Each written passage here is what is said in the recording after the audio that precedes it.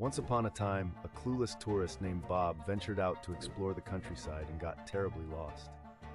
As Bob stumbled through winding roads, he encountered a sign reading, Welcome to Sheepville, home of the annual Sheep Beauty Pageant.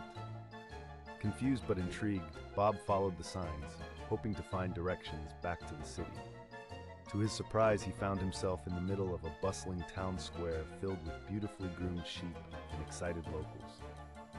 The mayor, thinking Bob was a judge, handed him a sash and said, Welcome our esteemed judge to this year's competition. Bob, too embarrassed to reveal his true identity, reluctantly joined the panel of judges.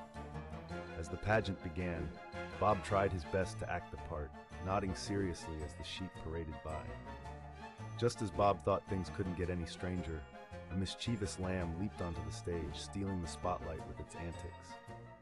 Crowd erupted in laughter, and Bob couldn't contain his amusement.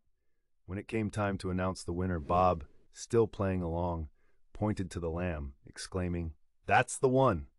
The town cheered, and Bob was given a trophy for his excellent taste. With newfound friends and a sheep beauty pageant victory under his belt, Bob finally asked for directions back home, leaving Sheepville with a smile and a story to tell for years to come.